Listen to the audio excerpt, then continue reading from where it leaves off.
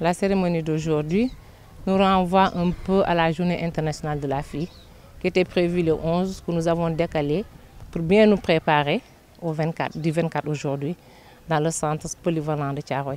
Là, au niveau du centre, nous avons des filles qui sont en rupture un peu avec leur famille, qui ont été victimes de violences et qui ont eu des problèmes avec la justice, que le ministère de la Justice a créé aujourd'hui un centre pour les accueillir. Et nous avons jugé au niveau de la cellule de venir les appuyer en don. Vous savez, en dehors de, de, sa, de sa mission régalienne, qui est aujourd'hui une mission judiciaire, il y a aussi le volet social, le côté social, que le ministère est en train de faire, d'initier dans, dans ses politiques de projet, dans ses projets de politique et d'encadrement.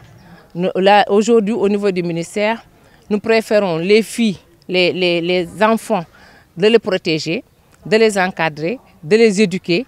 La place de l'enfant n'est pas en prison, mais la place de l'enfant est dans la famille. C'est pourquoi aujourd'hui, le ministère de la Justice, dans ses projets, a créé le centre polyvalent de Tiaroy, où on accueille aujourd'hui des filles, des garçons, mais on est en internat ici. Il n'y a que 20 filles qui sont en internat. Et dans les projets aussi, il y a un programme qui va faire le tour des régions où on installera beaucoup de centres polyvalents. Il y a les abus, hein, les violences aussi basées sur le genre. Il y a aussi la répression au niveau des familles. Il y a aussi bon, une partie de la pauvreté qui fait qu'aujourd'hui les enfants sont dans la rue.